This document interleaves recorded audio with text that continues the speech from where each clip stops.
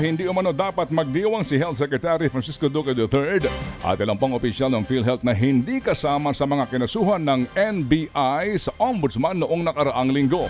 Ayon kay Senator Panfilo Ping Lacson na nakakalap ng sapat na ebidensya laban kay Duque ang task force na binuo ng Pangulong Duterte na nag-iimbestiga sa umano'y katiwalian at paglulustay ng bilyong pisong pondo ng PhilHealth. Ayon pa kay Lacson, isang source na miyembro ng task force ang nagbigay ng impormasyon kay Senate President Tito Soto na may sapat na ebidensya para makasuhan sina Duque at ilang pang PhilHealth officials.